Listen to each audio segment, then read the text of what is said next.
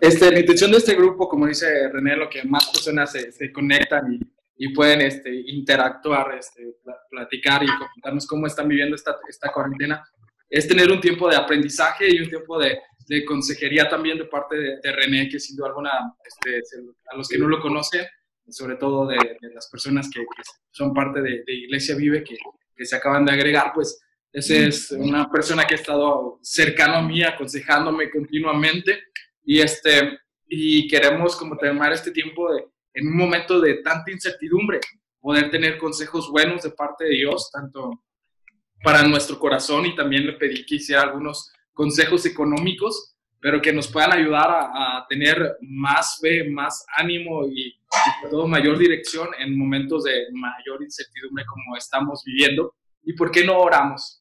¿Por qué no, no, no oramos para, para comenzar este tiempo? Y en lo que más personas para poder tener el mayor tiempo posible a René compartiéndonos de la sabiduría que Dios le ha dado. ¿Y por qué no ahí en nuestras casas, en nuestros hogares, cerramos nuestros ojos y ponemos este tiempo en las manos de Dios? Señor, te damos gracias por esta noche, gracias por todo lo que tú haces, Señor, posible. Gracias por esta reunión donde podemos conectarnos con personas, Señor, de todo el país juntamente con la iglesia vive para poder escuchar tu palabra, escuchar tu consejo, Señor, que seas tú hablando en nuestros corazones, que seas tú hablando en nuestras vidas, Señor.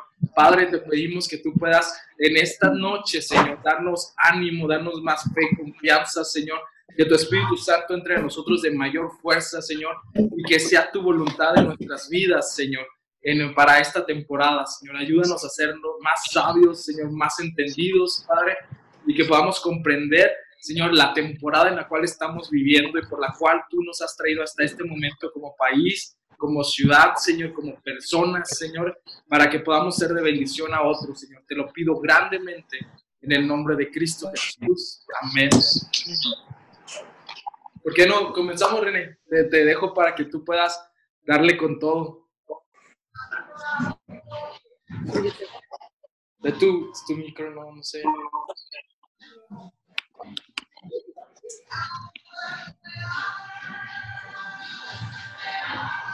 Te estamos escuchando, René. Ahora ya, perdón, es que yo sí la apliqué.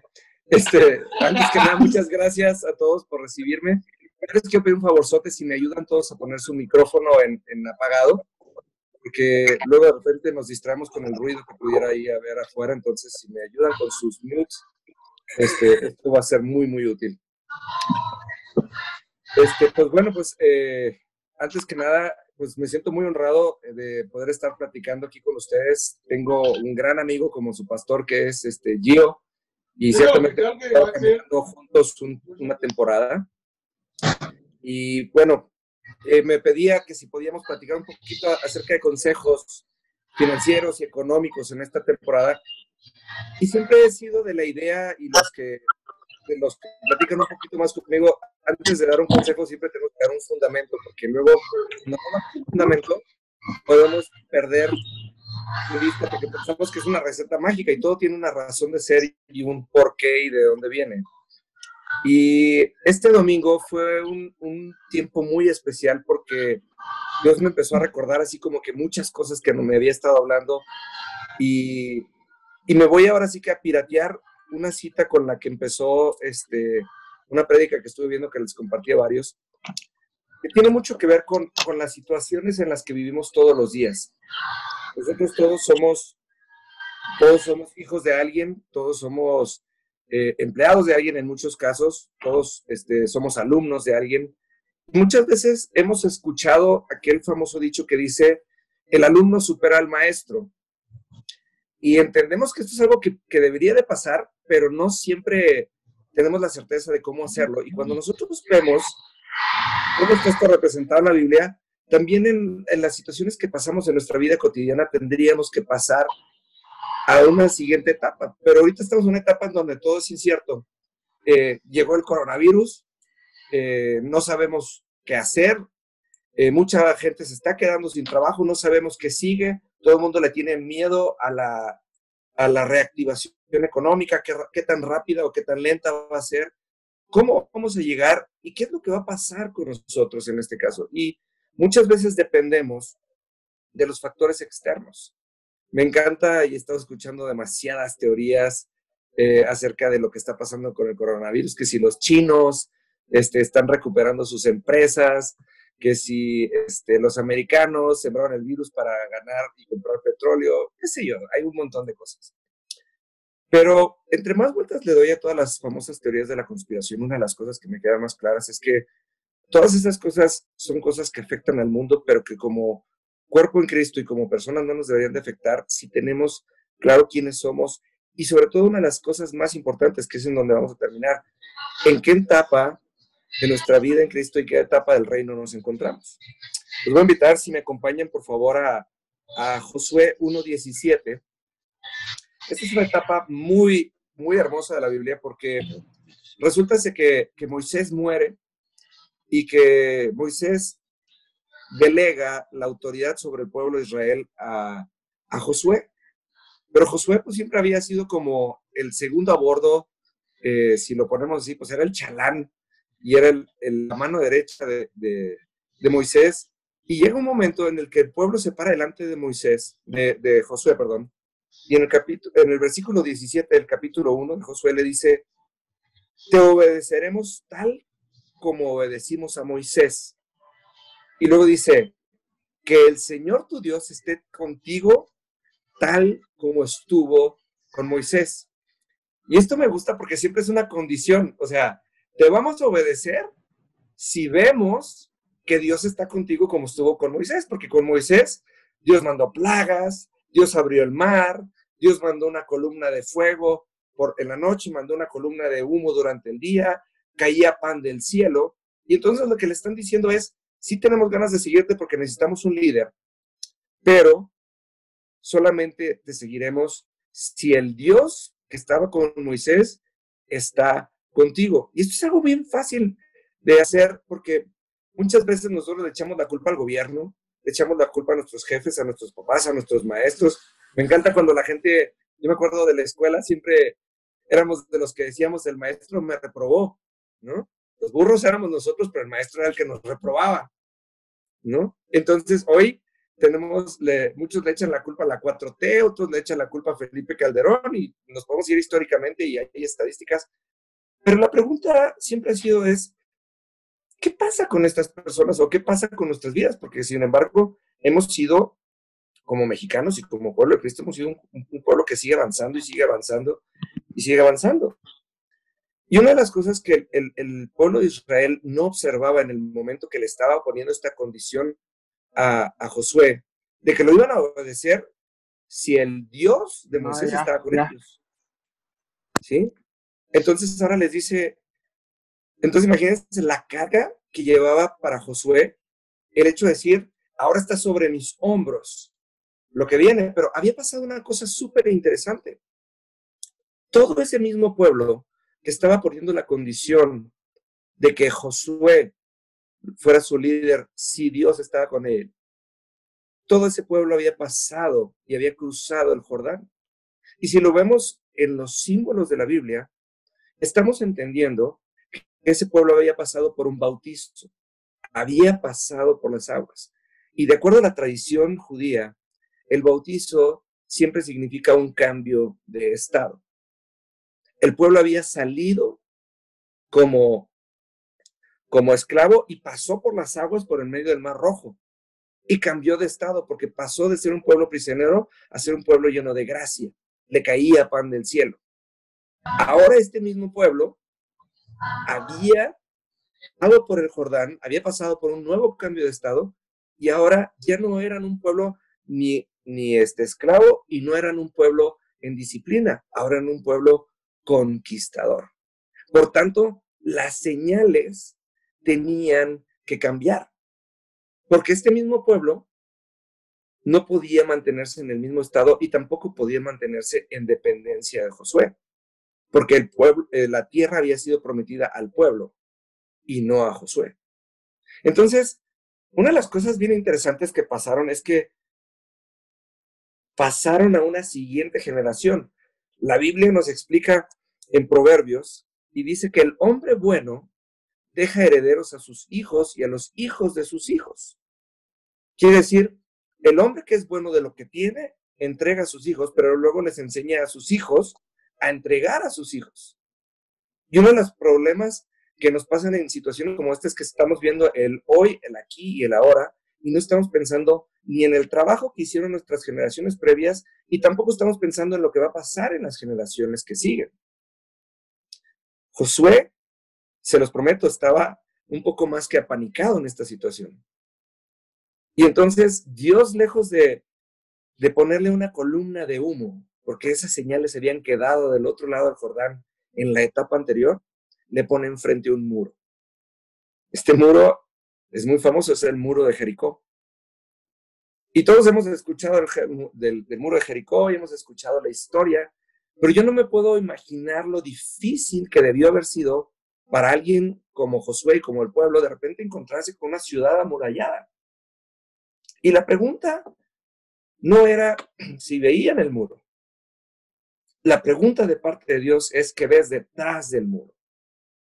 Porque en el momento que ellos pasaron por ese muro, iban a entrar a una etapa de conquista y por tanto una etapa de gloria. Esto quiere decir que muchas veces nosotros nos paramos frente al muro. Ahorita nuestro muro es el coronavirus.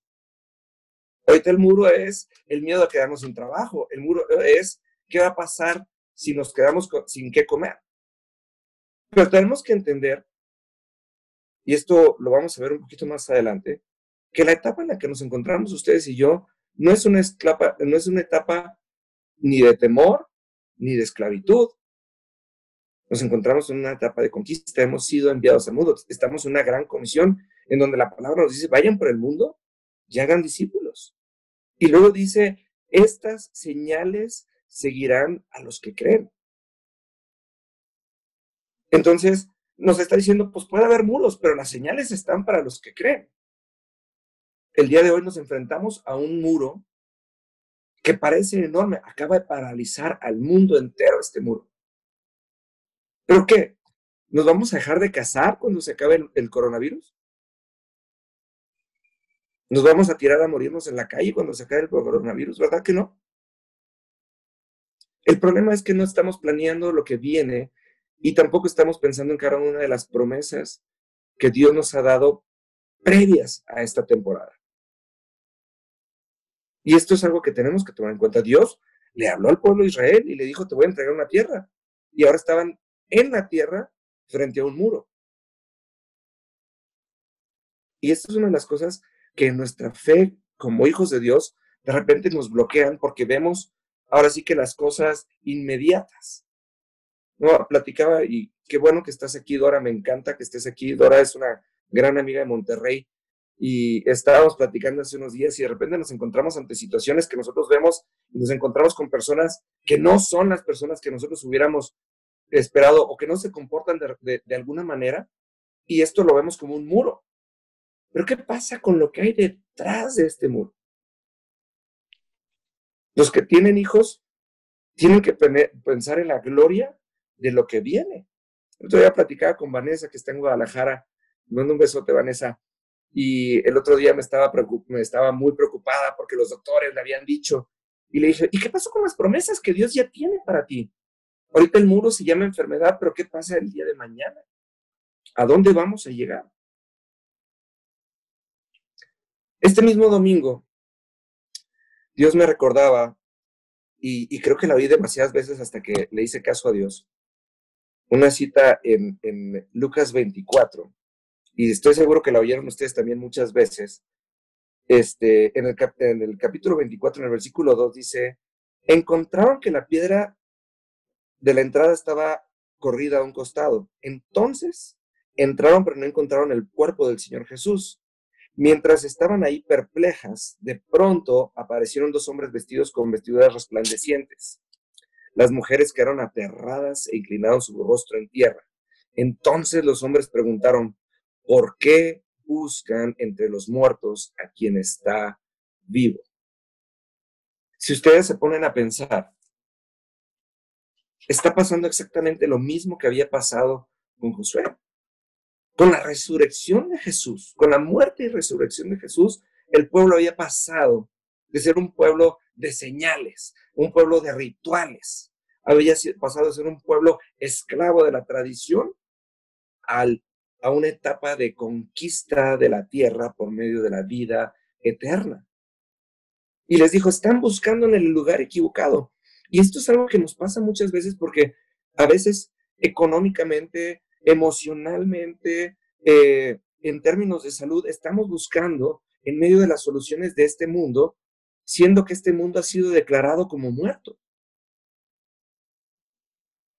Y hay veces que quisiéramos ahora sí que una luz y nos agarramos de lo que sea. Ay, es que me cayó una lanita, Dios me está contestando. Y yo digo, pues en ninguna Biblia, en ninguna parte de la Biblia dice que Dios nos mande una lanita, ¿no? Dice la Biblia que a Dios nadie le gana dar y que Dios da a manos llenas. Entonces, cuando nos encontramos frente a estos muros, se nos olvida quiénes somos. Y Josué lo tenía muy claro. Josué era el hombre que iba a llevar al pueblo a la conquista. Ya no fue el que rescató a un pueblo, sino fue el que lideró a un pueblo con una identidad propia. Ahora cada uno de los israelitas eran guerreros, eran conquistadores. Y hubo hombres como Caleb, que 40 años después todavía fue y reclamó un monte y dijo, estoy tan fuerte como hace 40 años. Cuando nosotros nos enfrentamos a estas situaciones que parecieran acosarnos y que nos ponen en riesgo, tenemos que tener como fundamento quiénes somos. Amo, amo y, lo digo todo el tiempo en, mis videos de sillonrojo.com, que una de, las, de mis citas favoritas es eh, Deuteronomio 28, 12, que dice, y serás de los que prestan y no de los que piden prestado. Esto quiere decir, Dios no va a arreglar mi economía para que salga de apuros. Dios me va a poner en un plano en donde ahora sí que ese famoso que sobre y que abunde, aplique. Porque Dios no es un Dios de favorcitos ni de apuros, Dios es un Dios de abundancia. Y en el momento que yo entiendo que soy un hijo de Dios y que soy enviado, en ese momento, en vez de ser un receptor de la gracia, me convierto en un portador de la gracia, me convierto en un vehículo de las respuestas de Dios para el mundo. Cuando nosotros entendemos que está en nuestras manos el verdaderamente conquistar al mundo, no es para que la gente vaya a la iglesia y Aquí está Héctor que me, que me escucha todo el tiempo y siempre le he dicho, la solución no está en ir a la iglesia, la solución está en ser la iglesia. En que seamos esas personas que, que embonan con la palabra y en las personas en las que se note el resultado de la palabra.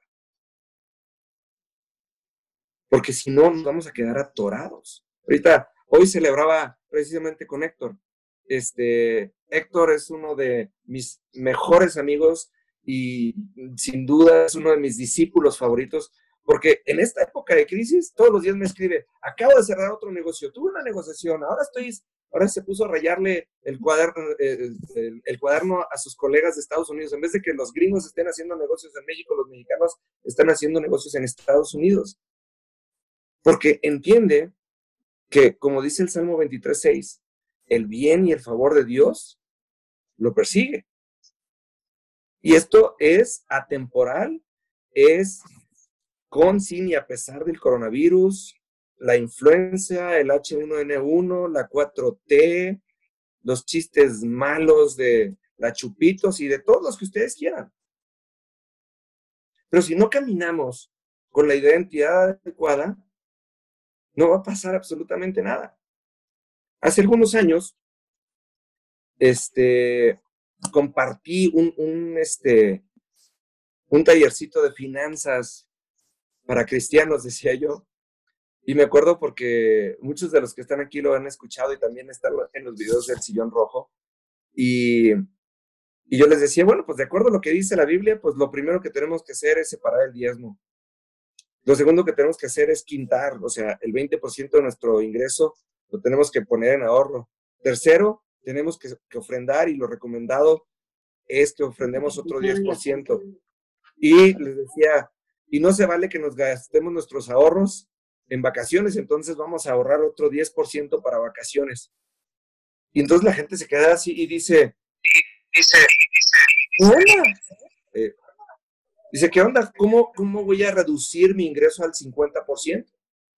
Si lo hacemos como hombres en la tierra no nos alcanza ni para diezmar, porque cuántas veces ustedes y yo nos hemos visto en la incapacidad de diezmar porque no nos alcanza. Pero cuando nosotros nos ponemos a hacer las cosas, ¿sí? Como hijos de Dios y sabiendo, como Josué sabía, que el Espíritu de Dios estaba con él, empezaremos a ver la, lo que hay detrás del muro y dejaremos de ver el muro. Porque muchas veces nosotros, y la verdad es que me desespera ver que tanta gente le da tanta importancia el día de hoy al coronavirus. ¿Sí? Hace unos meses era el precio del dólar y era el gasolinazo. Y nuestras oraciones, en vez, en vez de estar viendo lo que hay detrás del muro, nuestras oraciones se tratan del muro. ¿Y sabe qué es lo que pasó interesante en ese muro? Que hubo un momento en que la gente tuvo que expresar lo que sentía y cuando salió de sus bocas lo que sentían, pero no, no era lo que sentían conforme al muro, era lo que sentían conforme a lo que había detrás del muro, el muro se cayó solito. Porque dice que la voz del pueblo salió como trompeta. Y en la tierra como en el cielo, las trompetas lo único que anuncian es victoria. Entonces, el día de hoy, nuestra oración tiene que ir enfocada a, Señor, neta, Señor, neta, no veo más que el muro, pero enséñame a ver lo que no, mis ojos naturales no están viendo. Necesito, y ahí es en donde tenemos que tener, yo tengo uno de estos que nunca lo dejo. Este es mi cuadernito en donde todo lo que Dios me habla, lo apunto. Con fecha, con detalles. Esto los que me conocen lo saben, que siempre todo lo que Dios nos habla, tenemos que apuntarlo con fecha, con nombre, con el versículo de la Biblia que, lo respalda, porque va a haber un momento en donde estamos en un, en, un momento difícil y de, y de flaqueza, que lo único que nos va a servir y lo único que nos va a sacar adelante va a ser que cantemos victoria, porque lo que Dios nos dijo se va a cumplir. Lo que Dios nos prometió se tiene que cumplir. Y una de las cosas que también tenemos que tomar en cuenta es que Dios no iba a hacer lo mismo que hizo con Moisés, ahora con Josué, por dos cosas. Número uno, porque estaban en una etapa diferente, pero número dos, porque Dios así lo promete.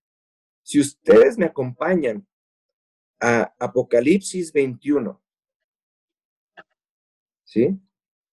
En el versículo 5. ¿Sí? Y fíjense qué importante es esto, porque lo dice de esta manera. Dice, ay, disculpen de los tamales, siempre pasa esta hora. dice eh, Apocalipsis 21.5, dice, el que estaba sentado en el trono, o sea, está diciendo, el Dios de los cielos, no cualquiera, dice, y el que estaba sentado en el trono, dice, miren, y dice, hago nuevas todas las cosas. Está diciendo, Dios no es un copión. El que es un imitador es el diablo. Pero Dios no repite ningún milagro a lo largo y ancho de toda su Biblia. Y luego después dice, entonces me dijo, escribe esto porque lo que te digo es verdadero y dice bien importante, digno de confianza. Si ustedes me permiten una recomendación económica, lo primero que deberían de hacer ustedes el día de hoy es, ahora sí que en un papel, escribir este versículo. Y cada vez que vayan a salir a la calle, léanlo. Porque no pueden atreverse a salir y pensar que el día de mañana va a ser igual que el día de hoy. Y que lo que Dios hizo el día de ayer lo va a repetir. Porque piensa esto, lo hemos hecho muchas veces. ¿Por qué cree que la gente ora al Padre Nuestro? Porque a alguien le funcionó. Y la gente prefiere recetas repetitivas a experiencias auténticas en el Espíritu de Dios. Josué estaba confiado en que estaban en una nueva etapa. en una etapa de conquista. Nosotros estamos en la etapa en donde estamos en la gran comisión.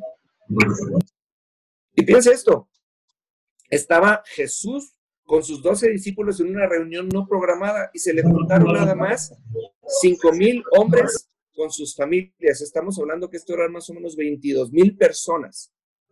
Y de repente llega uno de los discípulos y le dice a Jesús, Señor, mandemos a esta gente a su casa para que coma y para que duerma. Y ahí el, el, Dios que lo hace todo nuevo le dijo, no, le dijo, denle de comer ustedes. Jesús ciertamente bendijo el pan, bendijo los peces y dio gracias. Pero las manos que hicieron los milagros de multiplicar al grado que sobraran doce canastas fueron los discípulos, porque estamos en la época de los discípulos, de los apóstoles, de los maestros, de los profetas y de los evangelistas. Entonces, el día de hoy, cada uno de nosotros representa al Josué que pasó de la esclavitud y tiene una nueva libertad de conquistador. Pero esa es la actitud que tenemos que tener. Y esa es la, es la conciencia que tenemos que tener, exactamente igual que la tuvo David. Y por eso David decía, ¿por qué ando correteando señales? Si aquí Dios me demostró que el bien y el favor de Dios, y siempre lo recalca, dice, me persiguen. Y una de las cosas muy importantes, para que algo te tenga que perseguir, ¿qué tiene que pasar? Pues te tienes que mover. Si no te mueves, no te persigue. Este mismo principio se lo, enseñó Dios con Enoch. Dice, y caminó Enoch con Dios. ¿Sí? Y dice que fue evitado la muerte. Y cuando entendemos que Dios caminó, que Enoch caminó con Dios, quiere decir, caminó en el mismo tiempo, en la misma dirección, con la misma velocidad y el mismo ritmo. Quiere decir, Enoch no andaba persiguiendo señales, sino que Enoch era la señal. Y eso le evitó la muerte. ¿Usted quiere evitar fracasos en su vida? Camine como Enoch, camine como el pueblo, ya me están correteando, camine como el pueblo de, de, de Israel alrededor del muro. ¿Sí?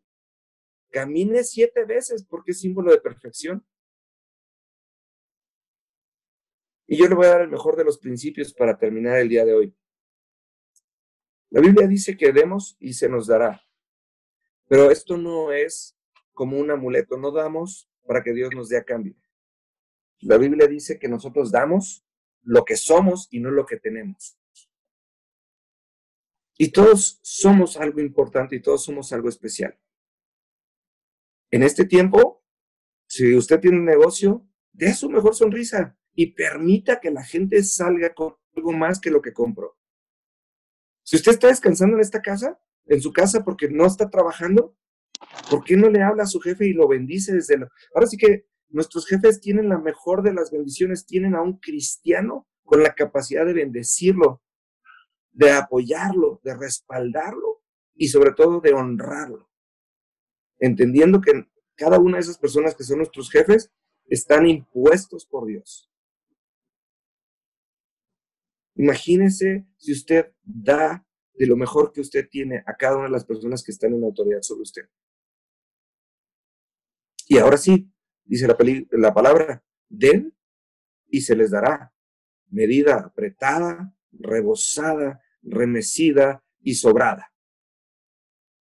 Si usted tiene dinero, dé dinero, pero délo de corazón. No se atreva a dar una moneda en la calle sin mirar a una persona a los ojos. Vea los ojos, bendígale. Y si puede, abrácele.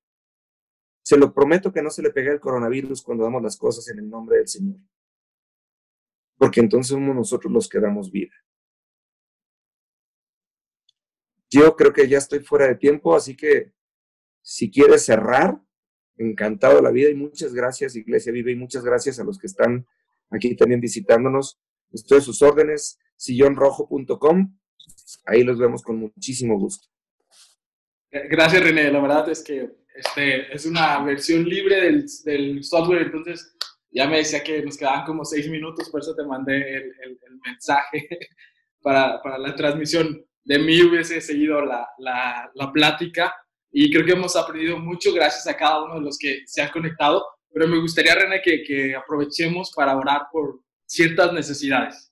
Claro. me gustaría que tú oraras por, este, tenemos personas que tienen negocios que están pasando ahorita un momento complicado.